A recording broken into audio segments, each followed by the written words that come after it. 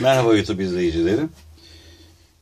Videomuzun birinci bölümünde e, ısırgan otunun e, nasıl kullanılacağını, e, Epsom tuzunun nasıl kullanılacağını ve e,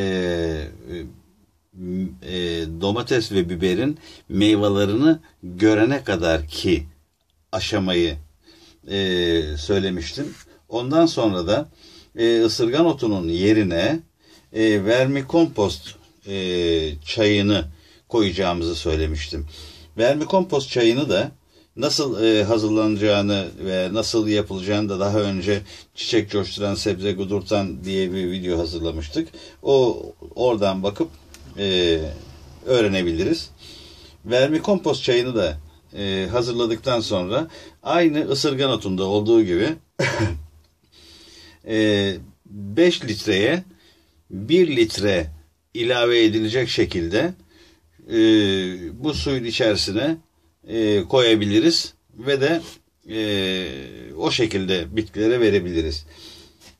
Eğer arzu ederseniz yani aslında çok da önemli değil ama e, ısırgan otunu e, suyunu buraya koyarken ısırgan otunun tohumlarını yani orada yeniden filizlenmesin diye tohumlarını süzmek suretiyle de koyabilirsiniz.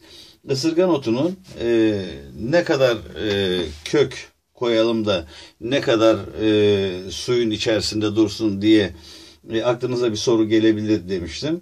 E, yani şimdi bunun bir e, şeysi yok. Yani bir ölçüsü yok. Yani buradaki ben kökleri saysam yani bu da size e, şey vermez yani bir e, değer e, göstermez.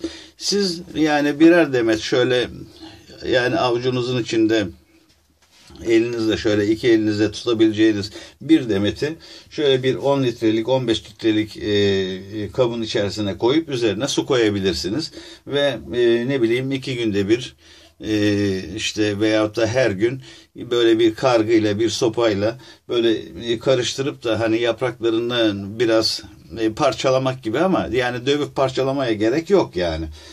Sadece karıştırırsanız e, yeterli olur diye düşünüyorum.